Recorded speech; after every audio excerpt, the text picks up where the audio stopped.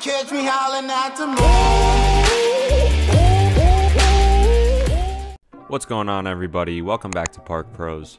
My name is Cole, and in today's video we have my review of a Midwest park that I think a lot of coaster fans might not know a whole lot about. That is, of course, the Disneyland of Iowa, Adventureland. Located just a few miles northeast of downtown Des Moines, Adventureland is the biggest theme park in Iowa. The Adventureland Resort has a theme park, a hotel, a campground, a water park, and advertises themselves as having over 100 rides and attractions. I visited this park in late June on my way home from my trip to Silver Dollar City. I budgeted in about a two or three hour stop at Adventureland in order to check out the park and get all the credits. In this video, you'll find my complete thoughts on this charming little park. Believe it or not, the locals actually do call this place the Disneyland of Iowa. And to be honest, Adventureland's resemblance to the most famous theme park in the world is uncanny. Not in terms of only having coasters themed to mountains, or having characters dressed as rodents running around, but in the park's overall layout. Officials from Disney actually helped with early park planning of Adventureland back in the early 70s, and you can clearly see the influence they had. There's a train station right at the front of the park, just like Disneyland has, and the first thing you hit when you walk into the park is a strip of shops that looks just like Disney's Main Street USA. I started my visit to Adventureland by heading to the back of the park to ride their classic PTC wooden coaster, Tornado. Tornado is the oldest remaining coaster at the park, and I can't think of a roller coaster that better fits the state of Iowa than this one. The ride is literally located right next to a cornfield. This out and back Woody wasn't anything special, as you can see it does have some pacing issues and barely seems to make it through its course. Even though it was close to 90 degrees outside, I was sure this thing was going to valley at some point during the day. Overall, it was a nice little coaster. It had a fun layout and it wasn't rough at all. From there, I went across the midway to get my first ride on Monster. This coaster is the crown jewel of Adventureland. Opening in 2016, Monster broke a 20 year new coaster drought at Adventureland and gave the park the marquee attraction it needed to get some buzz in the coaster community and Iowa as a whole. Towering 133 feet above the park skyline, Monster is one of the few rides you can see from the freeway. Monster perfectly balances fun and intensity, it's got that classic Gerstlauer lift hill and drop, along with 5 swift inversions and a bunch of hang time throughout its course. It's crazy smooth, crazy fun, and is one of those coasters that's just as fun to watch as it is to ride. Bonus points go to Adventureland for building this coaster in the middle of the Skyway, as it creates some great video opportunities. Monster's the best Gerstlauer coaster I've been on to date, and honestly, if you can get to Adventureland on a day where you can marathon this thing, I'd say it's worth the $30 price of admission to the park alone. A couple of laps on Monster later, I walked over to get my next credit, the Dragon. This 1990 Hopkins Looper is actually a really pretty ride, as it runs over the lake in the middle of the park. The coaster itself, however, is not very spectacular. The ride itself isn't unbearably rough, but the restraints are rock hard and come down at a weird angle, causing some discomfort. Also, my general rule of thumb is that I'm never a fan of a ride that I feel like I have to brace myself on. Beyond that, the ride literally does nothing besides two loops, a helix, and a jerky turn into the station. I will say though, the pre-lift section of the coaster is pretty elegant, and while the paint could use a touch-up, it's a sharp looking coaster. After the ride on Dragon, I walked to the other back section of the park called Outlaw Gulch. Back there they have a couple of well-themed flat rides, and a raft ride called Sawmill Splash that looks like it's straight out of Roller Coaster Tycoon.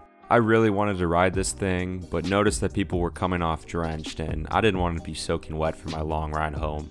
I then went over to check out their 1993 CCI wooden coaster, Outlaw. This is a little wooden coaster that doesn't feature any airtime or any significant speed or height, but it really tears through its 2800 foot course with a lot of aggression. I've heard mixed opinions on this ride, but I actually thought it was running really well the day I visited. For most people, I'd imagine this ride would just be a one and done, but I ended up re-riding it a couple times because the line was non-existent and I was just having a ton of fun on it.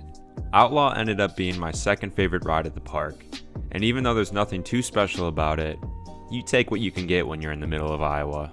From there, I took a stroll over to the other end of the park when I ran into this sign and remembered, hey, isn't there a coaster in there? I didn't check RCDB or anything before I got to this park, so I legitimately forgot that this indoor wooden coaster, Underground, even existed till I walked past it. This was the second one of these coaster dark ride hybrid attractions that I had been on on this trip, along with Fire in the Hole at Silver Dollar City. Although Underground was a far inferior ride to Fire in the Hole, I think these old school attractions have so much character and I always get a kick out of them. I'm looking forward to hopefully checking out Blazing Fury at Dollywood sometime in 2020.